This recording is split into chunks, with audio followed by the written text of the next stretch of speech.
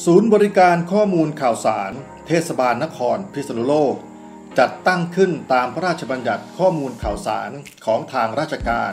พุทธศักราช 2540 ที่มีเจตนารมณ์ต้องการให้ประชาชนมีโอกาสอย่างกว้างขวาง ในการรับรู้ข้อมูลข่าวสาร เกี่ยวกับการดำเนินการต่างๆของรัฐ เพื่อที่ประชาชนจะได้มีโอกาสรู้ ถึงสิทธิและหน้าที่ของตนอย่างเต็มที่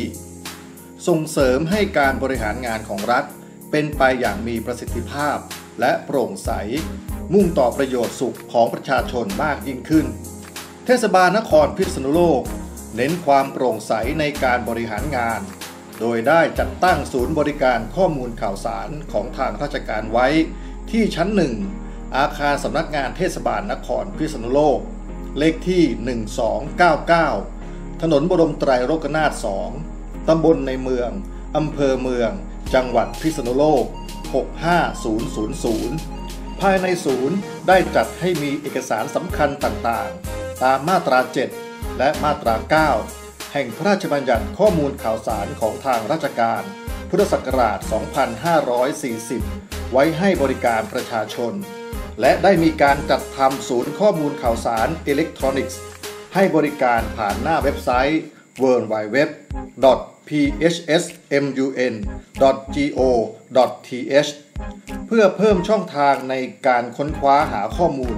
ได้สะดวกและรวดเร็วมากยิ่งขึ้น เทศบาลนครพิษณุโลก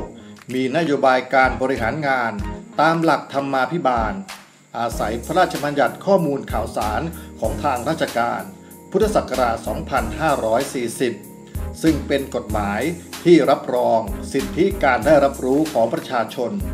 กล่าวคือ ให้ประชาชนมีโอกาสรับรู้ข้อมูลข่าวสาร เกี่ยวกับการดำเนินการต่างๆ ของรัฐ ในหลักการที่ว่า ข้อมูลข่าวสารของราชการเกือบทั้งหมด เปิดเผยได้ ยกเว้นกรณีที่กฎหมายกำหนดว่าไม่ต้องเปิดเผย ถ้าหากประชาชนท่านใดสนใจข้อมูลข่าวสารของเทศบาลนครพิษณุโลก สามารถติดต่อได้ ที่ศูนย์บริการข้อมูลข่าวสารของเทศบาลนครพิษณุโลก ตามวันและเวลาราชการ